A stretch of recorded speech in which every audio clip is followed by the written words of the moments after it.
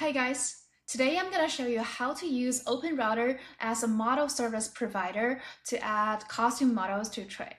So this is really helpful if you want to try out different models to see how they perform for your specific task. So as we see a lot of new models like Minimax or Kimi coming up, and OpenRouter is a powerful tool that you can use directly in TRAE and then try out all these IDEs. So today I'm gonna add one of the hottest models, which is Minimax M2, and add it through OpenRouter into TRAE. The first thing that you're gonna do is to open up the costume models. Um, for here, let's just click on Add Models. The setup is pretty simple. So we just need to select the OpenRouter here in the model service providers. So for the models, we can choose costume models because it's like a really new model. So we have to manually put the model IDs right now. And now let's go to the OpenRouter platform to get our model IDs and API keys. Okay, so now we are at the OpenRouter platform and we can see that there's a list of the models here. And well, you can see that they have a lot of the latest models like on Kimi K2, or like uh, Mistrals. And what we want to add right now is the Minimax model. So let me try it out.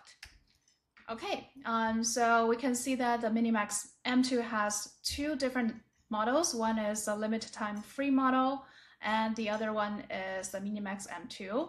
So why not adding the free model first? So we can copy the model ID. And now we get the model ID, I can just paste it in and then let's get our API keys. Uh, so now we are on the OpenRouter settings. Um, if we click on the API keys and then click on create API keys, then we can give it a name, select the credit limits, and then create an API key. I already have a demo test API key created, and I'll just copy and use this uh, API key. And one good thing about OpenRouter is that you can use one API key to try out a lot of different models. So for here, let's just add our API key. And then let's click Add Models. And if we back to the chat, and now you can see that we can use the Minimax M2 in our chat. And then we're using the free version for now. And now with Minimax M2, I just built out this 3D object with Three.js. And I can continue working on it in either IDE mode or solo mode.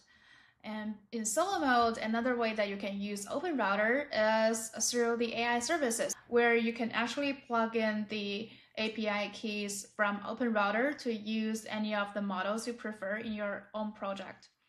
So this is a quick tutorial on how you can use some of the latest fun models with OpenRouter directly in TRAE. And hope this helps. What?